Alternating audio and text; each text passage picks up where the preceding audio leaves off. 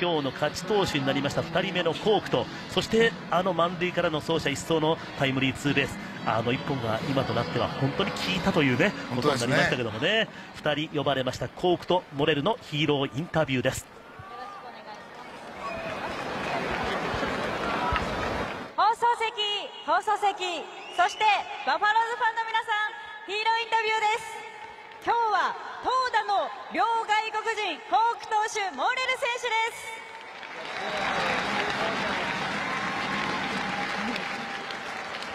すさあまずは2勝目を挙げましたコーク投手ですおめでとうございます Thank you very much. さあコーク投手今日は初めてのリリーフでの登板でしたがどのような気持ちでマウンドに上がりましたか？Uh? Exactly the way I pitched. もう今日この結果の通りになるように投げようと思ってました。その結果というのが今日は4イニングを投げて三振6つとナイスピッチングでした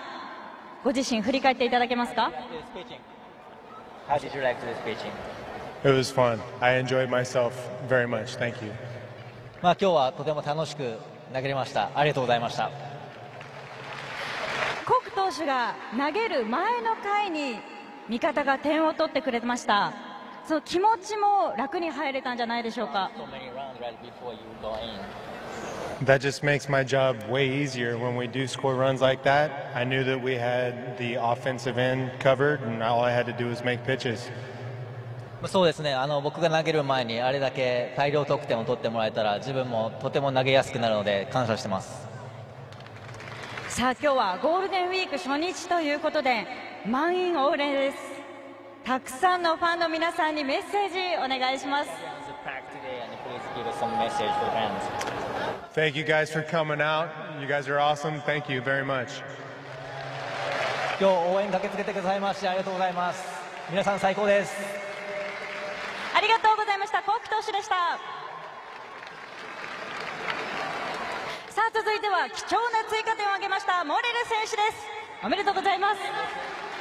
Oh. さああの場面振り返っていただきたいんですが3回打線がつながり満塁で迎えたチャンスの場面でしたどのようなことを考えてましたか Uh, just trying to get something up to, uh, you know, hit something there, get the guy from third in, but fortunate enough to get all three in, and um, you know, just looking for something up in the zone.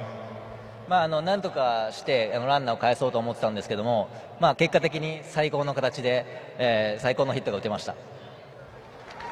その結果というのが走者一掃となり貴重な追加点となりましたね。Yeah, thank you.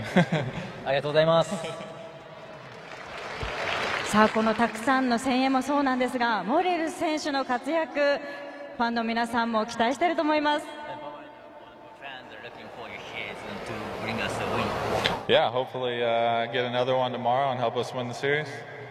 でももちろん明日また勝ってこのシリーズを勝ち越したいと思ってますそれではモレル選手ファンの皆さんに最後メッセージをお願いします Yeah, it was fun playing in front of a lot of fans tonight, and like I said, hopefully just come out, support us, and win the series tomorrow. Thank you. このようなたくさんのファンの前で、えープレーすることはすごく力になります。これからもまた応援よろしくお願いします。今日のヒーローはモレル選手コーク投手でした。ありがとうございました。それでは皆さん本日のヒーローコーク投手モレル選手と一緒にさらに一つになりましょう。参ります明日の関西クラシック2017も行くぜベイズスピリッツ。勝利をいただ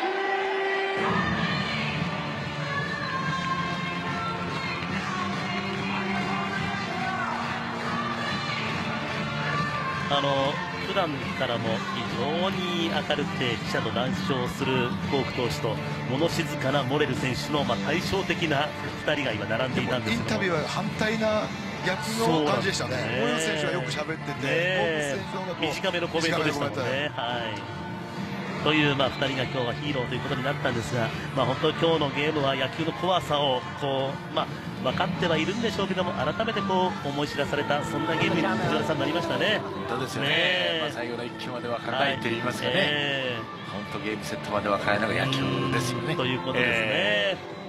まあしかしやっぱ準備っていうのは大事ですね、何事もね。ということなんですね。えまあ、本当にこの、まあ、心技体とかよく使われますが、その3つのバランスがなかなかこう整わないとということになるんですね。それも相当の技術だと